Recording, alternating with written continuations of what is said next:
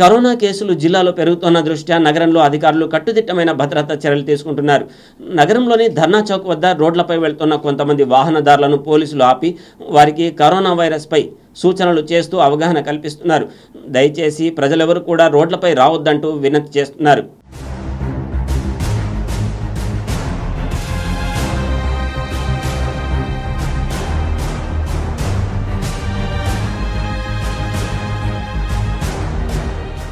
కేంద్ర ప్రభుత్వం లాక్డౌన్ను పొడిగించింది.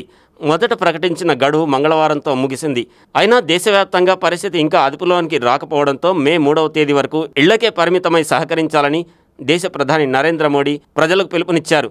ఈ నేపథ్యంలో జిల్లాలో తొలి విడత లాక్డౌన్ అమలు తీరు కరోనా అనుమానితుల గుర్తింపు క్వారంటైన్ కేంద్రాల నిర్వహణ ఐసోలేషన్లు అందిస్తున్న వైద్యం గురించి సర్వత్రా చర్చ జరుగుతోంది.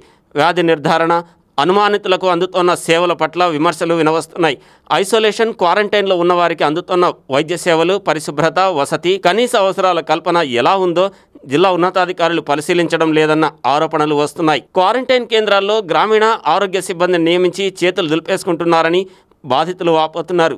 పర్యవేక్షణకు అనుభవజ్ఞులను అక్కడ నియమించడం లేదని బాధితుల బంధువులు ఆరోపిస్తున్నారు. మరోవైపు ఇంటింటి సర్వే పైన కూడా అనుమానాలు తలెత్తుతున్నాయి. ఏఎన్ఎంలు ఆశా వర్కర్లు వాలంటీర్లు ఫోన్ ద్వారా సమాచారం సేకరించి ఉన్నతాధికారులకు నివేదిస్తున్నారని సమాచారం. ఇదిలా ఉండగా తొలి విడత లాక్డౌన్తో జిల్లాలోని పలు వ్యవస్థలు దెబ్బతిన్నాయి. ప్రజలు ఇళ్ళకే పరిమితమయ్యారు. నిత్యావసరాల కోసం ఉదయం కాసేపు బయటకు రావడం మినహా ఎక్కువ శాతం గడప దాటనే లేదు.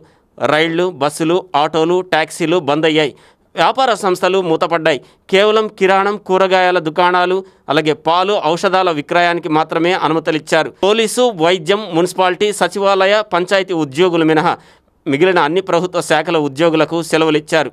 మున్సిపల్ పంచాయతీ శాఖల్లోనూ కొందరు మాత్రమే విధుల్లో ఉన్నారు. చివరకు కొన్ని ప్రైవేట్ ఆసుపత్రులను కూడా మూసివేయించారు.